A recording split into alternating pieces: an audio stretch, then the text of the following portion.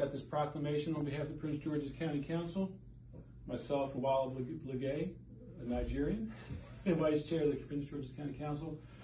And this reads, whereas Goya Menor is being recognized for his international success as a Nigerian singer, rapper, performing artist, and record producer, and whereas in 2021, Goya Menor teamed with the Ghanaian producer Nektunez to deliver Ameno Amapiano remix, You Wanna Bamba, which launched him from obscurity in Nigeria to the top of the charts worldwide.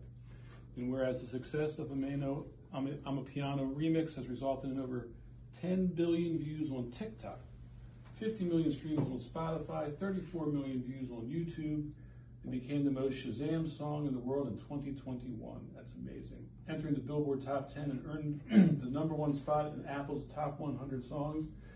And whereas Goya Menor has toured globally across Africa, Europe, America, and the Middle East, and whereas the Prince George's County Council is honored for, to have this opportunity to recognize Goya Menor's extraordinary talents as an artist, now therefore be it proclaimed by the Prince George's County Council that Goya Menor is commended for his exceptional contributions to the world of art. Further, he has wished the very best in his future endeavors. Congratulations. We appreciate everything you've done. There you go, sir.